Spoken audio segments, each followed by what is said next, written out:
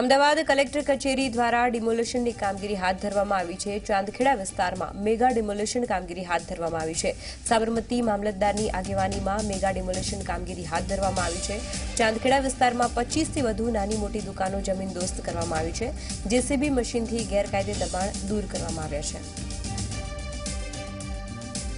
અત્યારે ચાંદખેડા વિસ્તારમાં mega demolition કામગીરી હાથ ધરવામાં આવી છે. તંત્ર દ્વારા જેમાં પચીસથી વધુ જે નાની મોટી દુકાનો છે, તેને તંત્ર દ્વારા જમીન દોસ્ત કરાવી દેવામાં આવી છે.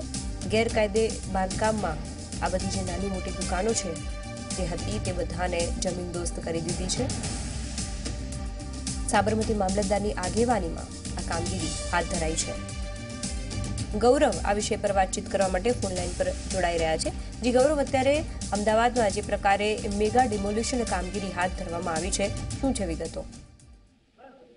જી, વાત કરીએ તો જે પ્રકારે અમદાવાદ નગરપાલિકા અને શહેરના પોલીસ કમિશનર દ્વારા શહેરી વિસ્તારમાં જે દબાણો હતા તે દૂર કરવાની કાર્યવાહી કરવામાં આવી હતી, જેને હવે જિલ્લા સ્તરે પણ બહોળો કરવામાં આવી રહ્યો છે. અને વાત કરીએ ચાંદખેડા વિસ્તારની તો ચાંચેડા વિસ્તારમાં જે ગેરકાયદેસર દબાણો હતા તેને મામલતદારની હાજરીમાં દૂર કરવાની કાર્યવાહી ચાલી રહી છે અને લગભગ પાંત્રીસથી વધારે જેટલી દુકાનો હતી જે જમીન દોષ કરવામાં આવી છે, જે ગેરકાયદે બાંધવામાં આવી હતી, જે સરકારી જમીન હતી, તેના ઉપર આ દુકાનો બંધાઈ છે અને તેમને જોવામાં આવ્યું આવી છે ચાંદખેડા વિસ્તારમાં મેગા ડિમોલિશન હાથ ધરાયું જેમાં સાબરમતી મામલતદાર પોતે હાજર રહ્યા હતા. પોલીસના ચુસ્ત બંદોબસ્ત વચ્ચે આ કાર્યવાહી કરવામાં આવી.